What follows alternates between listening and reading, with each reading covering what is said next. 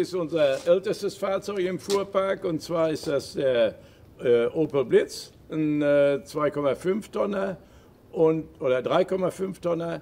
Und äh, ja, wir nennen ihn natürlich liebevoll, das ist der alte Fritz bei uns. Das ist äh, Baujahr 1934, noch mit Holzlenkrad und so weiter.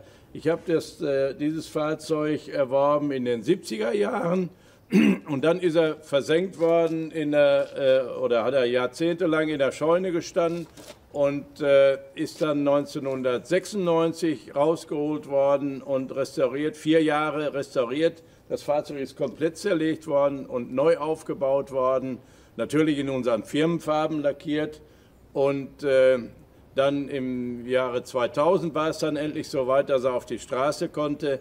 Der äh, Benzinmotor war nicht mehr zu retten. Und äh, da haben wir von einem alten Postwagen einen Mercedes-Motor eingebaut, einen Diesel allerdings. Und äh, ja, es war uns wichtig, dass das Fahrzeug wieder auf die Straße kam und angemeldet wurde. Es gibt die Mercedes-Fahrzeuge, haben den berühmten Mercedes-Stern und wir haben den Blitz. Den Opel Blitz ist eine äh, Modellvariante von Jens Behnke, der die Patenschaft für dieses Auto übernommen hat. Und äh, das ist jetzt hier dieser Pfeil, dieser Blitz, ist jetzt unser Markenzeichen für den alten Fritz.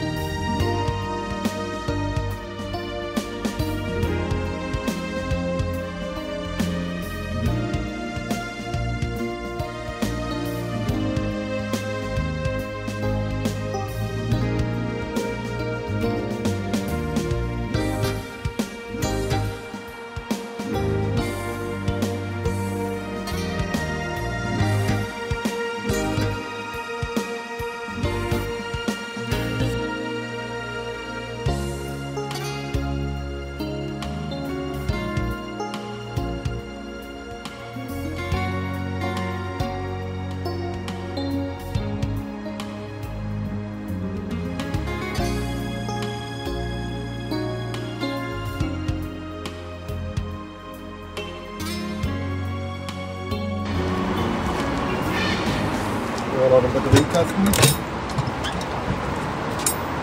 So voll. Vorne also ein Spritvorrat, bei 5 Liter Kanister Diesel, Trichter, Schlossschutz ist leer, der wieder auffällt.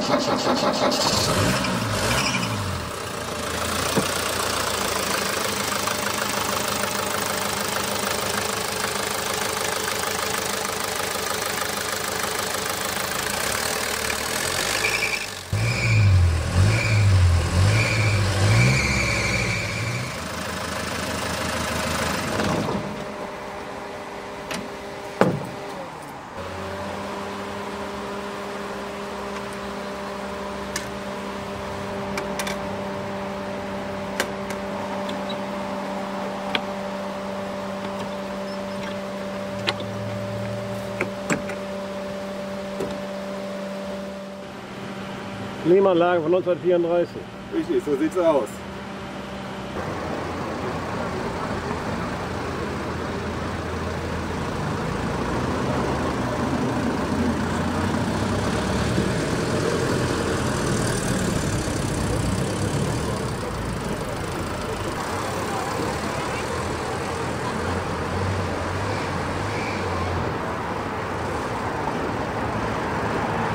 Ja, dieses Fahrzeug war äh, ehemals ein, ein Feuerwehrfahrzeug und da war kein, kein Planaufbau drauf, sondern ein, ein Löschfass für Wasser, für Schaum. Und der ist bei einer Firma als, als äh, äh, Werksfeuerwehr gelaufen. Und äh, ja, und dann war er auf einer äh, Ausfahrt in, in Lüdenscheid, ist das Fahrzeug bewegt worden und mir danach angeboten worden in den 70er Jahren. Und äh, ja, so bin ich zu diesem Opel Blitz gekommen. Ja, dieses Dreieck, was oben auf dem Dach montiert ist, bedeutet, äh, es ist erstmal beleuchtet und bedeutet für den Gegenverkehr, dass dieses, äh, dieses Fahrzeug als Suchmaschine dient und mindestens ein Anhänger, meistens auch zwei Anhänger äh, hinter sich führte.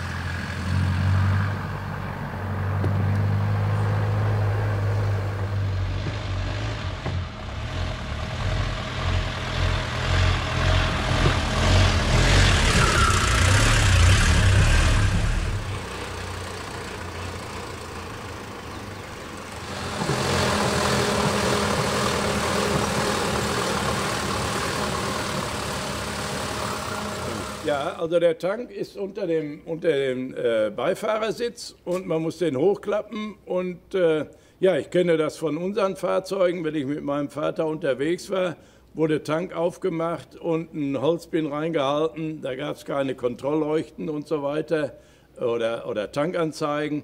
Also da wurde der Messstab eingesetzt und äh, ja, so ist es hier auch bei diesem Opel Blitz.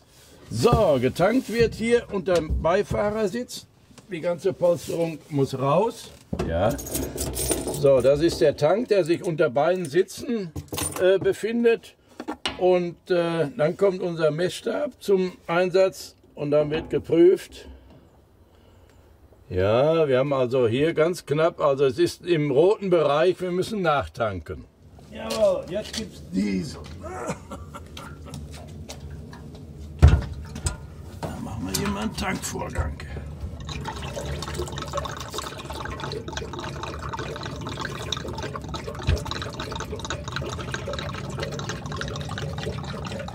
So, jetzt ist der Fahrgastraum wieder in Ordnung. Einmal drüber wischen. Schön. Wunderbar. Prima.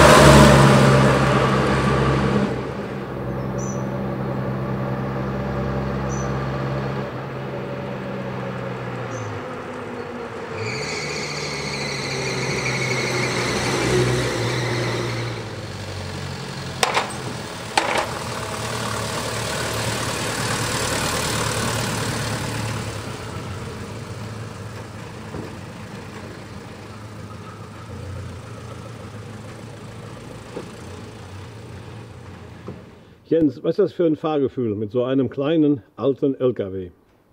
Ja, das ist schon was Besonderes, mit diesem kleinen alten LKW über die Straßen zu fahren, weil äh, man sowas da eigentlich äh, selten sieht. Ja? Und äh, es ist was Besonderes, es ist alles ein bisschen äh, schwerer zu bewegen, es rappelt mehr, man muss aufpassen, dass man sich nicht den Kopf stößt. Ich bin auch nicht gerade der Kleinste, also man hat die Schlaglöcher sofort mit am Kopf. Und ähm, vor allen Dingen ist es und bleibt es eigentlich was Besonderes auf den heutigen Straßen. Gut, okay, das Schild machen wir wieder hoch, dann sind wir die nächste Tour wieder mit Anhänger unterwegs. Ja, genau. Mindestens ein. Mindestens ein, ja, das haben wir gelernt. Ja? Ja.